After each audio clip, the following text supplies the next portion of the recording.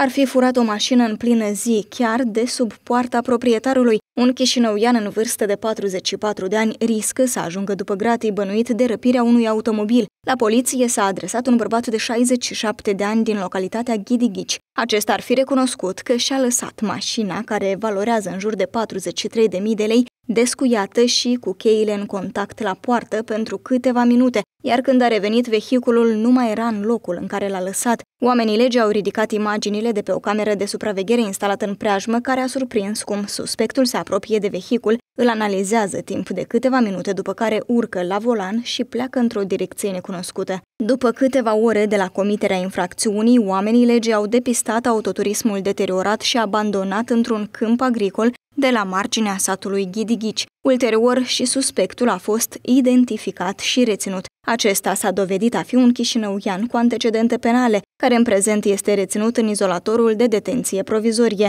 Dacă vina îi va fi demonstrată, acesta riscă o amendă de până la 67.500 de lei sau până la 3 ani de pușcărie.